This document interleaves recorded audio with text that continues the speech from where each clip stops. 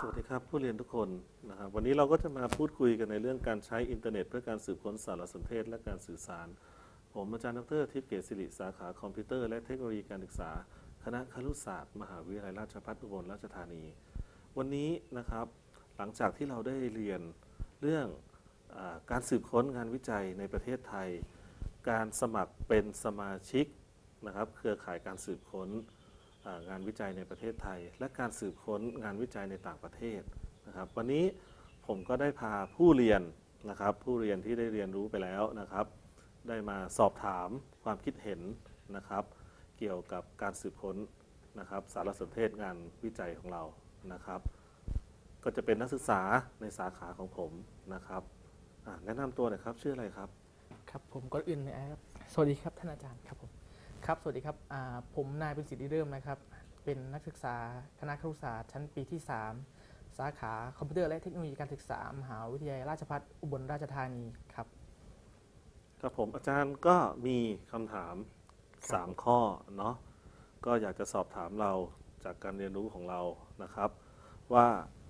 ข้อที่1นงนะครับ หลังจากการที่คุณได้เรียนเกี่ยวกับการสืบค้นงานวิจัยในประเทศไทย จากเว็บ ThaiLIS คุณคิดว่าเว็บ ThaiLIS มีประโยชน์หรือไม่อย่างไรครับครับก่อนอื่นนะครับผมเท่าที่ท่านอาจารย์ได้สอนมาครับเว็บ ThaiLIS นะครับเป็นเว็บที่ใช้สืบค้น หาข้อมูลงานวิจัยในแบบเป็นระดับวิจัยวิทยานิพนธ์ของอหลายมหาวิทยาลัยรวมกันนะครับเป็นฐานเป็นฐานข้อมูลขนาดใหญ่ของประเทศเรานะครับก็คิดแบบ มันเป็นประโยชน์อย่างมากเลยนะครับ ในการที่ช่วยให้เราย่นระยะเวลาในการหาข้อมูลได้นะครับ ก่อนอื่นก็ย้อนไปตอนผมอยู่ปีหนึ่งนะครับก็มีท่านอาจารย์หลาย ๆ ท่านนะสั่งว่าแบบให้ไปหางานวิจัยเกี่ยวกับเรื่องที่คุณสนใจ จะเป็นแบบเกี่ยวกับเทคโนโลยีกฎหมายหรือการพัฒนาสื่อการสอนต่าง ๆ ซึ่งตอนนั้น ผมก็ยังไม่ทราบว่ามีเว็บไซต์ไทยลิสนี้อยู่นะครับ ก็ต้องไปเซิร์ชหาใน Google นะครับ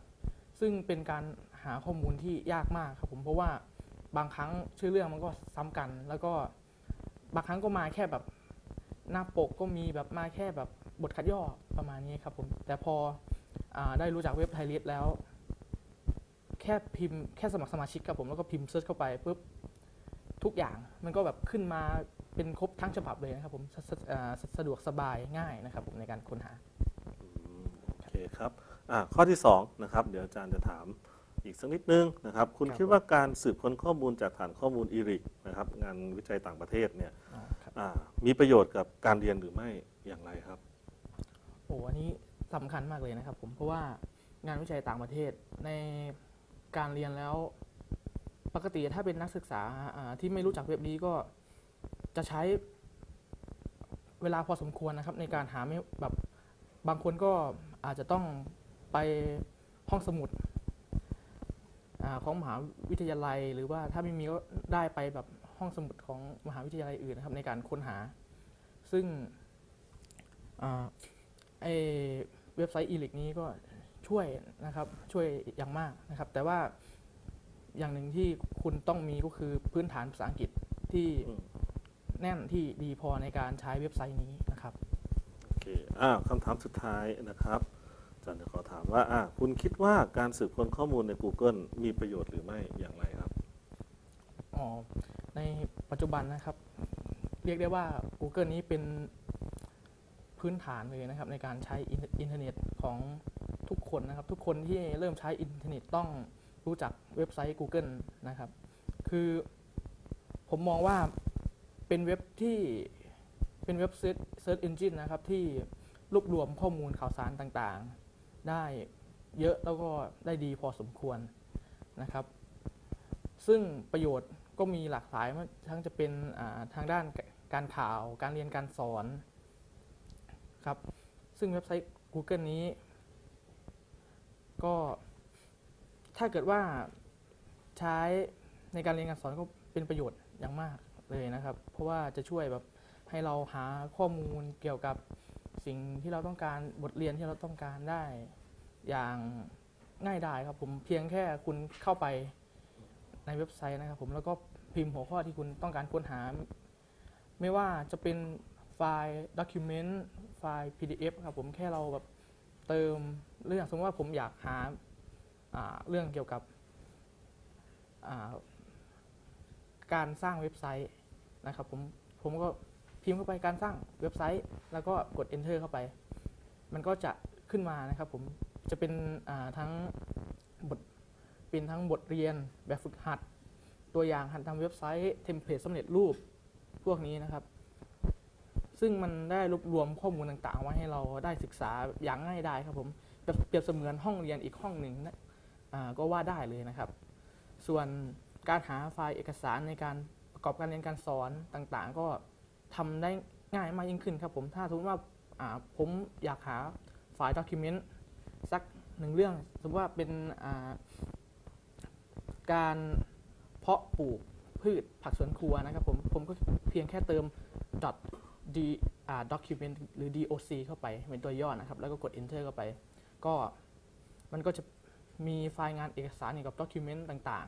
ๆ มาให้ครับ รวมถึงการเสิร์ชหารูปภาพ ในปัจจุบันนี้ทาง Google เขาได้พัฒนาการเสิร์ชหารูปภาพที่มีความคล้ายคลึงกันนะครับ เพียงแค่เราเอารูปภาพโยนขึ้นไปปุ๊บแล้วก็กด enter ปุ๊บมันก็จะหารูปภาพที่ใกล้เคียงกันมานะครับ ผมสามารถคัดกรองขนาดาขนาดว่าต้องการไฟล์แบบขนาดใหญ่แค่ไหนกลางเล็ก แล้วก็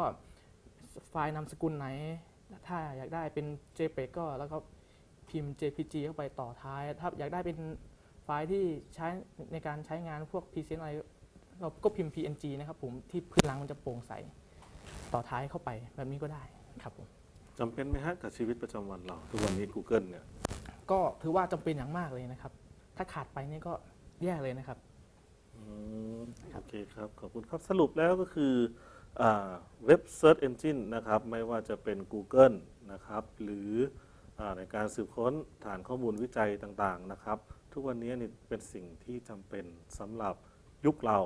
นะครับ แล้วก็เป็นสิ่งที่ขาดไม่ได้แล้วนะครับสำหรับการเรียนรู้ในยุคดิจิตอลในปัจจุบันนี้นะครับ เพราะฉะนั้นนะครับเราควรจะต้องอให้ความสำคัญนะครับกับการเรียนรู้และ การสืบค้นข้อมูลสารสนเทศต่างๆนะครับ ในยุคปัจจุบันขอบคุณครับ